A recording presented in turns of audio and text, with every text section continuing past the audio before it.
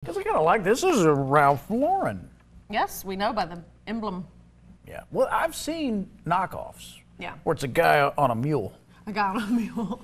Yeah, and he's he's swinging a broom. Do you remember that time we saw a mule in New Orleans? And I said, man, the horses look different down there. yeah, that's true. But of course, we had a couple of hurricanes. I had to have been either very tipsy or hungover from the had night before. two hurricanes. I know what she had. A grenade. Remember that? You had a grenade. And it didn't ignite because God bless me, I wish it had. And uh, And a cigar. and a cigar that she was sucking on, and I'm like, what are you? You know, you puff on them, No, I don't. and she got halfway through it and goes, I don't want it. I'm like, well, you're not throwing it away, so now I got two cigars.